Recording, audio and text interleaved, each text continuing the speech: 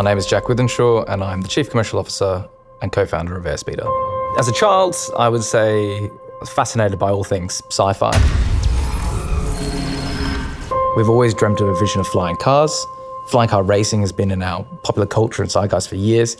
It's just now that we are at a stage where the technology is possible. And if something is possible and you are equipped to be able to do it, for me, that's more than enough momentum to be able to say, let's go charge ahead and, and make this a reality.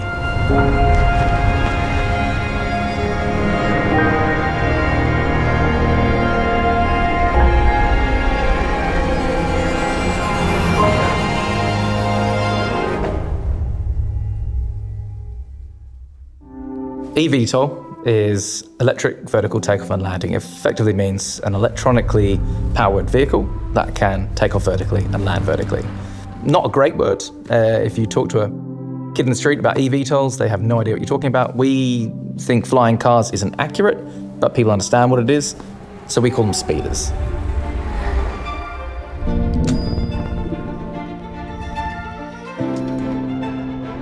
Personally, what attracted me to the project was the idea that I could create a new sport that will change the world. And that doesn't come around very often. I'm from Detroit, the Motor City, and I grew up loving cars, going fast in cars. We want this to be the, the F1 of the skies. We believe that flying electric cars are the future, but it's going to take development. So Airspeeder's vision is really to have a race with a lot of speeders that are going to be in close quarters. They're going to be handling and maneuvering in a way that is very similar to the automotive sector.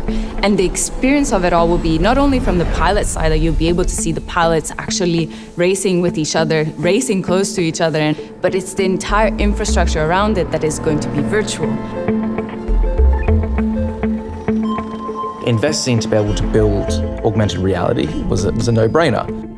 The technology that we've developed here with the AR tracks is really one of the, the key things that we're taking towards these competitions where you can set up a track in any environment. The tracks could change substantially because, you know, one day you'll be up and down through a canyon, sometimes around cities. We really want to bring something exciting, something modern, something futuristic. Intel really is integrated throughout the whole whole system of the vehicle itself, but also the company. So, you know, the processing power that the media team requires, the, the graphics card that the media team uses, the engineering team, all the CAD modelling that they do, all the bunch of processing power that they need uh, to do all of the simulation stuff, and then on the vehicle itself, all the processing power that it takes to generate these artificial reality tracks.